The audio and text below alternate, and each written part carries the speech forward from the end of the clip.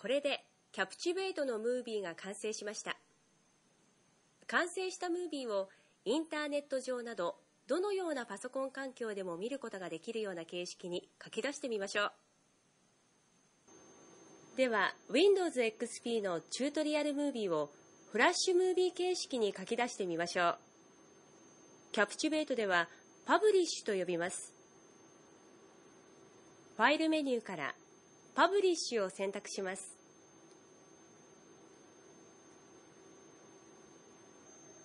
パブリッシュダイアログが表示されました。左端のアイコンで書き出す形式を選択します。フラッシュ SWF を選択します。ムービータイトルを入力します。参照ボタンをクリックして書き出し先のフォルダを選択します。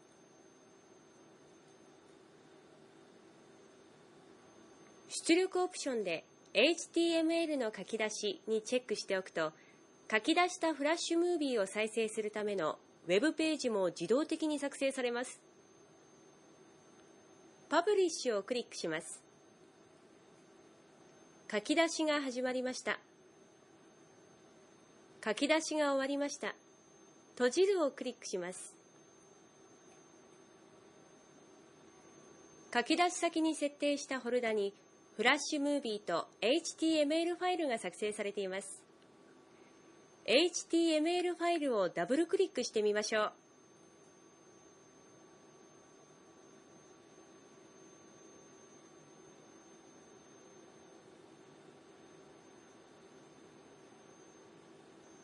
ブラウザが起動してフラッシュムービーが再生されます。キャプチベイトのプレビューで行った操作をすべて実行することができます。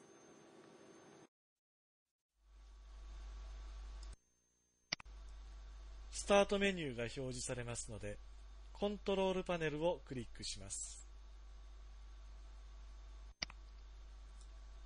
コントロールパネルが表示されました。画面アイコンをダブルクリックしましょう。画面のプロパティが表示されました。画面のプロパティには、テーマ、デスクトップ、スクリーンセーバーなどのタブがあり、クリックすると。作成したキャプチュベートプロジェクトを電子メールで送信したり、ネットワーク上で他の人と共有する、あるいは CD-ROM で配布して実行する形式にするには、スタンドアロン形式でパブリッシュします。では、スタンドアロンでのパブリッシュを実行してみましょう。ファイルメニューからパブリッシュを選択します。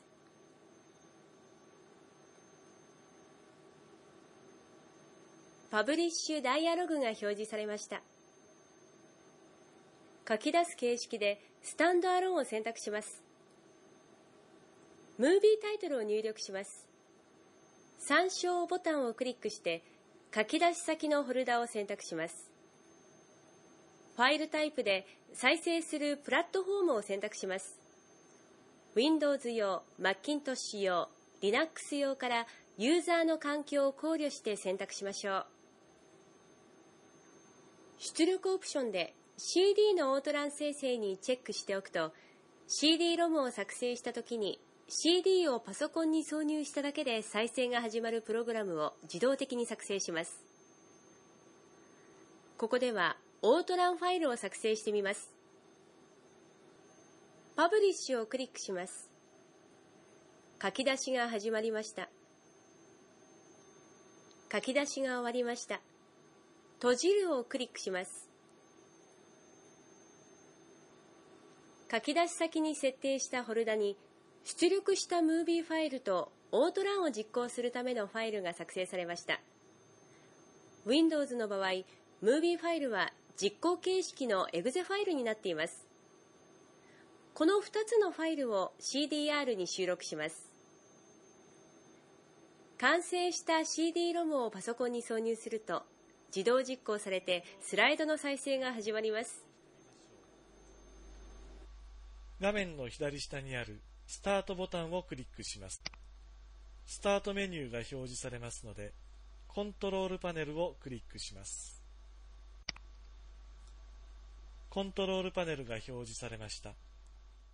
画面アイコンを書き出される自動実行形式のファイルは Windows では Windows 実行ファイル拡張子は exe Linux では Linux プロジェクタファイル拡張子は exe Macintosh では Macintosh プロジェクタファイル拡張子は HQX になります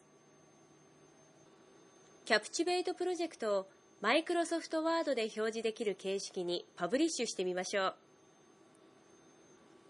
ファイルメニューからパブリッシュを選択します。パブリッシュダイアログが表示されました。書き出す形式で配布資料を選択します。ムービータイトルと書き出し先のフォルダを指定します。書き出し範囲で書き出すスライドを選択します。すべてを選択すると、すべてのスライドが書き出されます。現在のスライドでは、現在表示しているスライドだけが書き出されます。スライドにチェックして、スライド番号を指定すると、そのスライドだけが書き出されます。レイアウトオプションで出力に表を使用するにチェックして、1ページに何枚のスライドを表示するかを指定します。最大9枚まで表示することができます。スライドメモにチェックすると、スライドメモ行が表示されます。オブジェクトにチェックすると、テキストキャプションや画像などのオブジェクトも出力されます。パブリッシュをクリックします。書き出しが始まりました。書き出しが終わりました。閉じるをクリックします。書き出し先に設定したフォルダに Microsoft Word 文書ファイルが出力されました。ダブルクリックしてみましょう。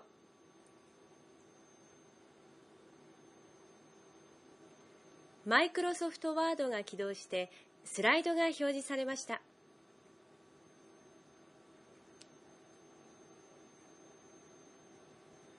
ワード形式で書き出すとアニメーションは反映されませんが、スライドごとにメモや注釈を追加して、プレゼンテーションの配布資料などとして活用することができます。誰でもわかるマクロメディアキャプチベイトはこれで終了です。わかりやすいチュートリアルコンテンツやプレゼンテーションを作成するには、良いシナリオ作りが大切です。ユーザーのスキルレベルや対象年齢層を考慮してシナリオを作り、キャプチベイトの機能を活用して素晴らしいムービーを作成してください。